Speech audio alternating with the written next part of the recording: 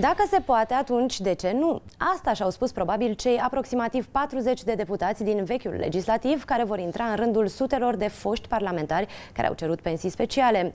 În funcție de numărul de mandate, aceștia vor încasa între 1550 și 4600 de lei, cu condiția să nu fi fost realeși și să nu fie acuzați de infracțiuni de corupție.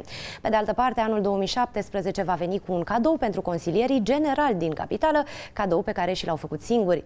În ultima ședință de Consiliu din acest an, aleșii bucureșteni au introdus în regim de urgență pe ordinea de zi un proiect prin care li se oferă acces gratuit la evenimentele care vor avea loc pe arena națională.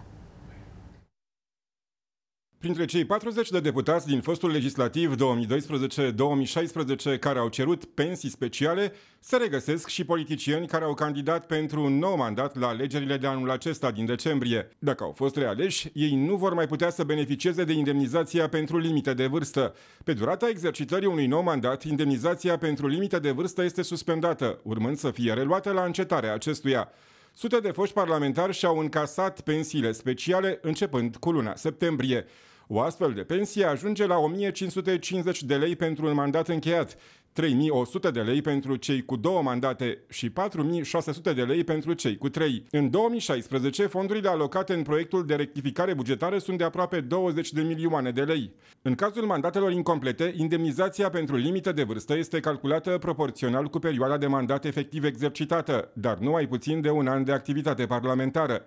La primăria capitalei, aleșii bucureșteni și-au făcut singuri un cadou. Doar decembrie a fost, până la urmă, luna cadourilor.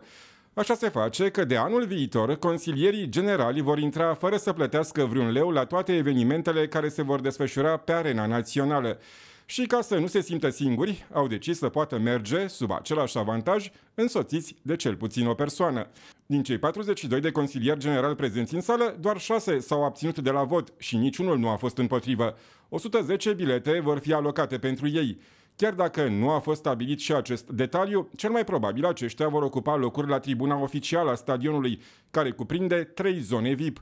Cel mai ieftin bilet poate ajunge la 500 de lei, în funcție de meci și competiție.